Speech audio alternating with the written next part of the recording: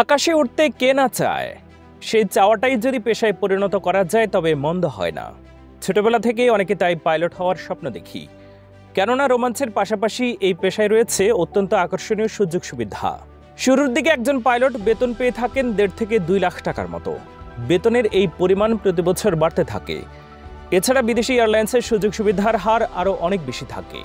দুই হাজার একুশ সালে বিমান বাংলাদেশ এয়ারলাইন্স গণমাধ্যমকে জানায় বর্তমানে এশিয়ার সর্বোচ্চ ও মধ্যপ্রাচ্যের বড় বড় এয়ারলাইন্স প্রতিষ্ঠানগুলোর মধ্যে বিমান বাংলাদেশ এয়ারলাইন্সের পাইলটদের বেতন সর্বোচ্চ।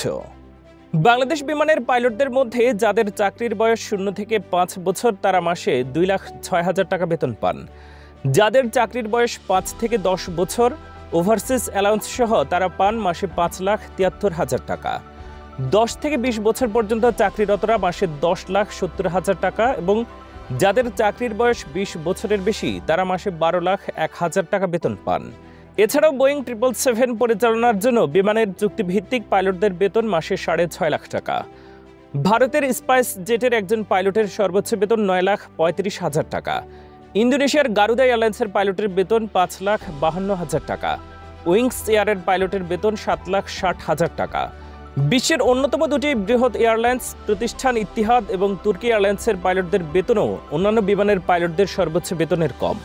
স্বাভাবিক সময়ে ইতিহাদ তাদের পাইলটদের সর্বোচ্চ আট লাখ একাশি হাজার এবং তুর্কি আর এগারো লাখ টাকা বেতন প্রদান করে থাকে। বিমান কর্তৃপক্ষ আরও জানান, বিমান বাংলাদেশ এয়ারলাইন্সের বোর্ড অফ ডিরেক্টরের মিটিংয়ের সিদ্ধান্ত অনুসারে, ফ্লাইং ঘণ্টার হিসেব অনুসারে ওভারসিজ অ্যালাউন্স দেওয়ার সিদ্ধান্ত হয়। এছাড়াও পাইলটরা দ্বিপাক্ষিক চুক্তিতে উল্লেখিত সাপ্তাহিক ফ্লাইং ঘণ্টার অতিরিক্ত উড্ডয়নের জন্য প্রোডাক্টিভিটি পারিশ্রমিক পান। দরকারি প্রশিক্ষণপ্রাপ্ত ও যোগ্যতা সম্পন্ন যে কেউ এই পেশায় আসতে পারেন। কিন্তু কোথায় প্রশিক্ষণ নিতে হবে, কী বা যোগ্যতা থাকা চাই, সে বিষয়ে অনেকেরই সুস্পষ্ট ধারণা নেই। পাইলট সাধারণত দুই ধরনের, সামরিক ও বেসামরিক। সামরিক পাইলট বাংলাদেশ নৌবাহিনী, বিমান বাহিনী ও সেনাবাহিনীতে কর্মরত থাকেন। বেসামরিক পাইলটরা বিভিন্ন এয়ারলাইন্স কোম্পানিতে কর্মরত থাকেন। তবে পাইলট হওয়ার জন্য থাকতে হবে বেশ কিছু যোগ্যতা ও প্রশিক্ষণ। বাংলাদেশে বেসামরিক বিমান চালানোর যাবতীয় বিষয়গুলো নিয়ন্ত্রণ করে civil aviation authority of Bangladesh. প্রথমে সংশ্লিষ্ট একাডেমিতে পাইলট কোর্সের জন্য ভর্তি পরীক্ষা দিতে হবে। পরীক্ষায় উত্তীর্ণ হলেই মিলবে পাইলট কোর্সের সুযোগ। সাধারণত ভর্তি পরীক্ষা নেওয়া হয় তিনটি ধাপে।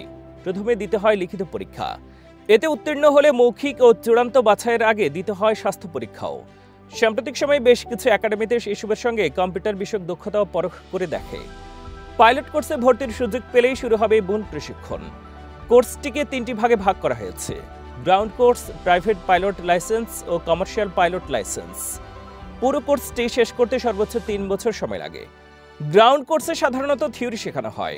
বিমানের কারিগরি, air law, aircraft, general knowledge, flight performance and planning human performance and limitation navigation operational procedure O principal of flight সম্পর্কে ধারণা দেওয়া হয়। এরপর সিভিল এভিয়েশন স্টুডেন্ট পাইলট লাইসেন্সের আবেদন করতে হয়। আবেদনের পর সিভিল এভিয়েশন অথরিটি পরীক্ষা নেয়।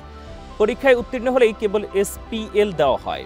এই লাইসেন্স দিয়ে চল্লিশ থেকে পঞ্চাশ ঘণ্টা বিমান চালনার অনুমতি মেলে। এরপর প্রাইভেট পাইলট লাইসেন্সের জন্য আবেদন করা হয়। এই সময় এক জেলা থেকে অন্য জেলায় বিমান চালিয়ে নেওয়ার অভিজ্ঞতা অর্জন করতে হয়। তারপর পেলে প্রাইভেট পাইলট লাইসেন্স। যদিও এই লাইসেন্স দিয়ে কেউ বাণিজ্যিক বিমান চালাতে পারবেন না। বাণিজ্যিক বিমান চালানোর জন্য দরকার সিপিএল বা কমার্শিয়াল পাইলট লাইসেন্স। এটি থাকলে পাইলট হিসেবে যে কোনো এয়ারলাইন্সে চাকরি করা যাবে।